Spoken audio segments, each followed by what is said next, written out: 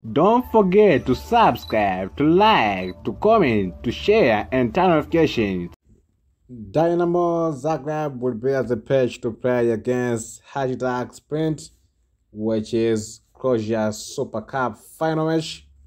So it will be a good game.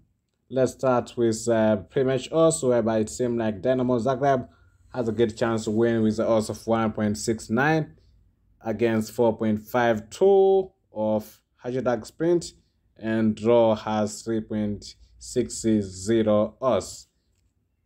Head-to-head matches in the last five games of head-to-head matches, Dinamo Zagreb has been able to win in one game, while Hajduk Split has been able to win in two games, and there's two draws. So it seems like when Dinamo Zagreb play with Hajduk Split, things go become very hard because it seems like in the last uh, five games has been able to win in only one game.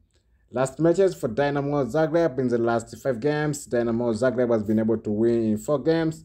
There's one draw that is the best performance and one of performance from Dinamo Zagreb.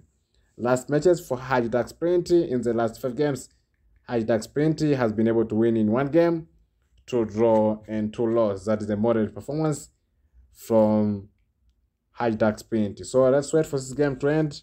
We'll know more. Thank you. Have a good day.